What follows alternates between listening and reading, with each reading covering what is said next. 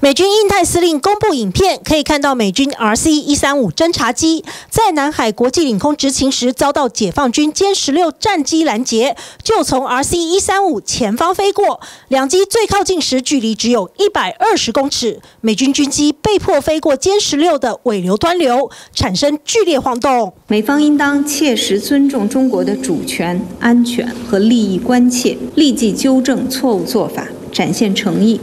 为中美两军对话沟通创造必要的氛围和条件。美军指控解放军战斗机的行为是不专业且不必要的挑衅举动，中方则拒绝在新加坡香格里拉对话，让两国防长举行双边会谈。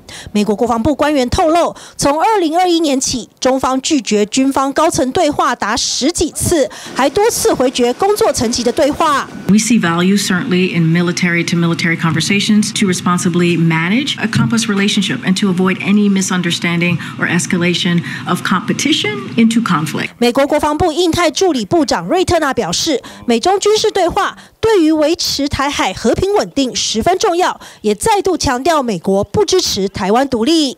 Building and maintaining open lines of communication with the PRC are an important part of maintaining peace and stability across the Taiwan Straits. Uh, we have a clear objective to maintain the status quo in the Taiwan Strait.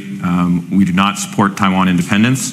美国国务卿布林肯在与瑞典外长的联合记者会上指出，美国和欧洲在处理中国问题的观点上趋于一致，都认为跟中国的关系非常重要。但在寻求维持关系的同时，也看得清楚，没有要脱钩，只是要去风险。TVB 的新闻于思莹、倪家辉、黄松普综合报道。想看最完整的新闻内容，记得下载 TVBS 新闻网 APP。